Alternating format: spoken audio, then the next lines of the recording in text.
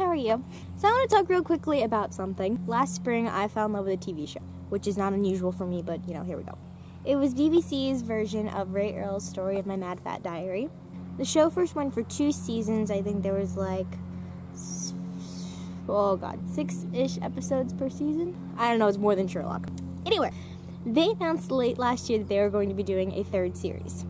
I was equal parts excited and freaking terrifying, and I will tell you why. They ended the last episode so perfectly.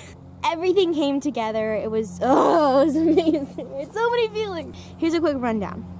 Rae Earl is a teenage girl who suffers from an eating disorder. And while dealing with this eating disorder, she also has some mental issues.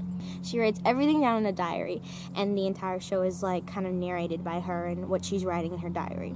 It's a story of her getting out of the mental hospital and trying to fit back in with her mom and her old friends. And then there's Finn. Finn is this, ugh, I don't even know. He's this adorableness that at first doesn't really like Rae then he kind of sticks up for her and then he starts kind of liking her and then oh it's just so cute. I'm never gonna be over these two never ever. Back to what i said the series ended with rae coming to terms with herself and with her relationship with finn. So anyway whenever I, whenever I found out that they were going to be doing another season, I, I was equal parts terrified and really, really excited because they ended it so perfectly. I don't want them to mess up what happened. But yet I really want to see more of these characters because they're so, so true and they're so real. And I just really love all of them. so today is June 2nd whenever I'm filming this and they have come out with the first teaser for my Mad Fat Diary Season 3. And I'm going to watch it have, I have not seen it. I have no idea what to expect. Also, my neighbors can hear me.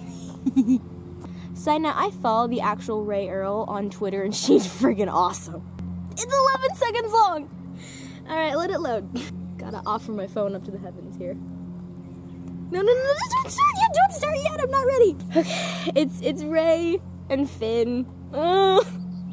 Finn, what is up with your hair, buddy? What what is happening here? Okay, here we go.